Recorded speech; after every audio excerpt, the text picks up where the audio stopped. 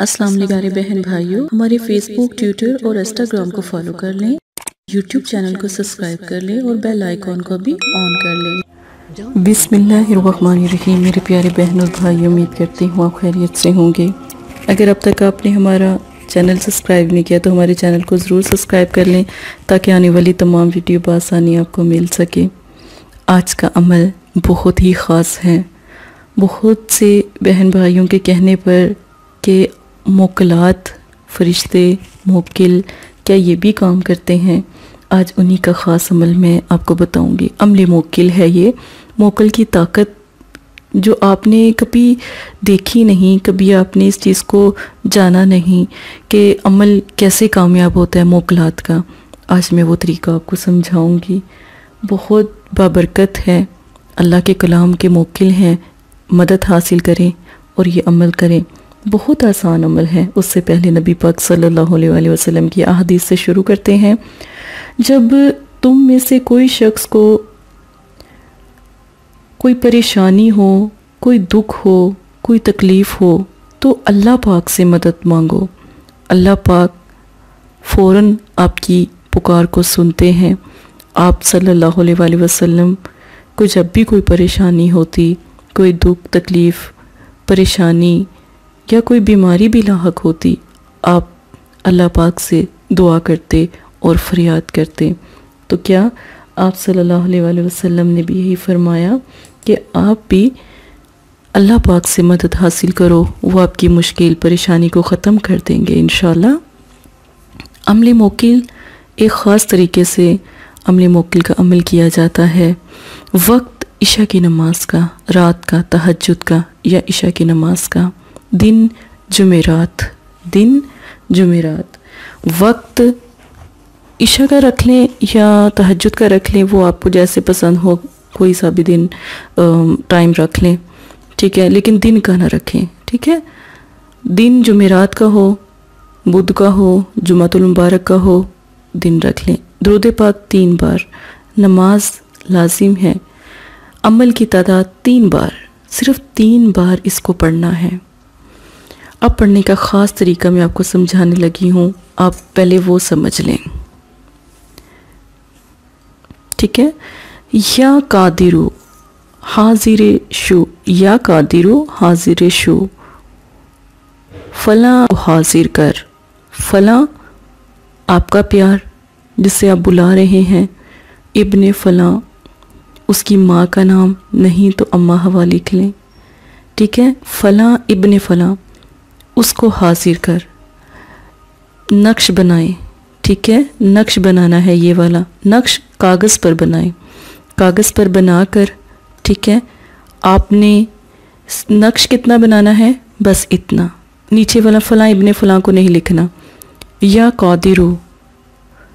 तीन तीन बार पढ़ेंगे, पढ़ने का तरीका आप गौर से सुनिएगा। या कादिरो, फ़लाँ इबन फ़लाँ को हाजिर कर। नक्श के ऊपर आपने लिखा नक्श के ऊपर आपने लिखा इस लफ्ज़ों को और नक्श तैयार कर लिया। पढ़ना क्या है? या कादिरु फ़ला इबन फ़ला को हाजिर कर। दूसरी मरतबा क्या पढ़ेंगे? या वदूदु फ़ला इबन फ़ला को हाजिर कर। तीसरी दफ़ा क्या पढ़ेंगे? या कादिरु फ़ला इबन फ़ला को हाजिर कर। आपका प्यारा हाजिर हो जाएगा इन अब एक गिलास पानी लेना, मैंने कोशिश की है गिलास बनाने की। तो पता नहीं ये ठीक बना है कि नहीं। तो मुझे, जिस तरह समझ आई, मैंने आपको समझाने के लिए गिलास बनाने की कोशिश की है। तो अगर अच्छा लगे तो ठीक है, नहीं तो फिर मासरत। ये नक्श इस ग्लास में डाल देना है, पानी में। पानी एक गिलास लें, उसमें ये नक्श डाल दें। अब जब आपने ये नक्श पे भी लिखा हुआ, ये लिखा है ना, ठीक है, नक्श इस तरह का बनाना है। ये देखें, बीच में मैंने लिखा हुआ है, या कादिर फ़ला इबन फ़ला को हाजिर कर। समझे ये एक गिलास का पानी है। गौर से देखिएगा मेरी बात को, समझने की बस आपको कोशिश है। ये समझें कि एक गिलास पानी है, ये आपने इसके अंदर नक्श पानी में छोड़ दिया। अब जब आपने नक्श पानी में छोड़ दिया, अब आपने इसको ज़ोर ज़ोर से, पानी में जब ये भीग जाएगा ना तो ये हिलेगा। इसमें पानी इसलिए नहीं मैंने डाला कि वो फिर सारा अमल ख़राब ना हो जाए, कोई गलती ना हो जाए। तो फिर ये इस तरह पानी में इसको जितनी ज़ोर से हिलाएँगे ना आपके प्यारे का दिल उतना बेचैन होगा, ठीक है? जितनी ज़ोर से हिलाएँगे। या कादिर फला बिन फला को हासिर कर। ये मोकिल की ताकत का अमल है, कादिर के मोकिल हैं। तो वो इन अल्लाह के हुक्म से, बफजल अल्लाह। तो अल्लाह जी, अल्लाह पाक जो उनसे हर चीज़ पे कादिर हैं। तो इन आपका मसला हल हो जाएगा। इस इस अमल को करने के लिए, ठीक है? इस अमल को करने के लिए एक बात याद रखें, कभी गलती ना कीजिएगा। अमल बहुत ताकतवर है। गलती की कोई गुंजाइश नहीं, नाजायज़ का इस्तेमाल नहीं। आपकी बहन इतने बड़े बड़े अमल आपको बता रही है, इसमें कोई नाजायज़ चीज़ का इस्तेमाल का, ये बहुत पावरफुल अमल है। एक दफ़ा ज़रूर बहनें भी कर सकती हैं, भाई भी कर सकते हैं। एक दफ़ा ज़रूर करें। तीन दिन ये अमल करें। जब एक दफ़ा आप अमल करते हैं ना, या कादियो, या वदूदो, आप पुकारते हैं अपने प्यारे को, ठीक है ना? तो सुबह तक का टाइम होता है। बोला कि आपकी मोहब्बत, आपकी चाहत, आपका प्यार अल्लाह पाक भी देख रहे होते हैं, दिल आपका देख रहे होते हैं। तो बेशक नक्श और पानी यही रहने दें, ये पुकारने वाला काम जो उनसा है आप कर लें। अगर ग्लास है तो किसी बोतल में डाल लें, उसको ज़ोर से हिलाना शुरू कर जैसे आप कोई मतलब कि बोतल ले लेते हैं या कोई ऐसी चीज़ ले लेते हैं कि जिसमें आपको हिलाने में आसान जैसे आप ग्लास में पता गिर जाएगा।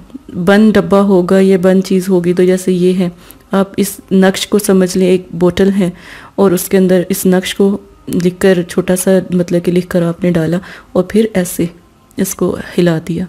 तो जितना आप इसके हिलाएँगे, पानी में रहेगा, उसका दिल पानी में डूबा रहेगा बहुत खूबसूरत है।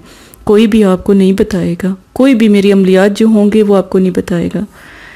और क्योंकि हमारा माशाल्लाह पूरा मतलब कि बैग जो सा है वो माशाल्लाह नक्शबंदी का है। तो मैं सिर्फ़ उनकी ताकत आपको समझा रही हूँ कि ये अमल करें इन आप कामयाब हो। इसी के साथ अपनी बहन को इजाज़त दें। कोई अमल की बात समझ ना आए तो ज़रूर पूछें। जजाकल्ला